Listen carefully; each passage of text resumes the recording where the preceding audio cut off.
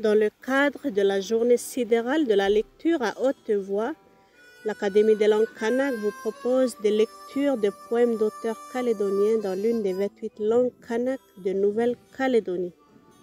Nous remercions Madame Imasango Boutin, auteure et poète calédonienne, qui est aussi marraine de notre événement.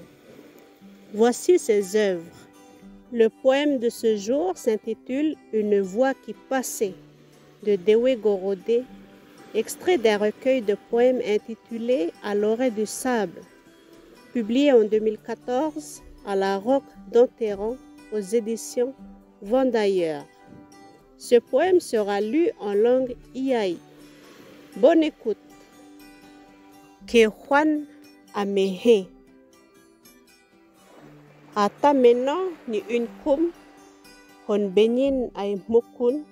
men nơi nhà bút ni nhà mai bê khất gi je hô chi chi non u nhà ni nhà mực gơn à hôm nhà ni un cum. Ni ke bô mene ai ni bu ba me ham khơ nhà hoa nhìn je wa bu lu ni buin hululu hangut ni khơ me je khoan khona ao bang ni un cum.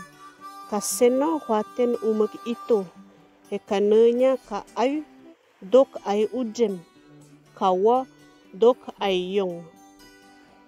Ke hawa, ka meno, gun me bangbi, ane hofuch fibia mun kume, ni anin bewe ni ka ane ke nain kuma jout hofuch, ni but ka halubahingen. Mert.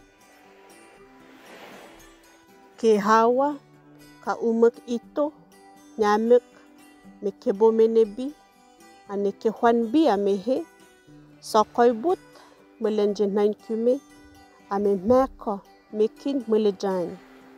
Non weto, me opke ne ai hake man.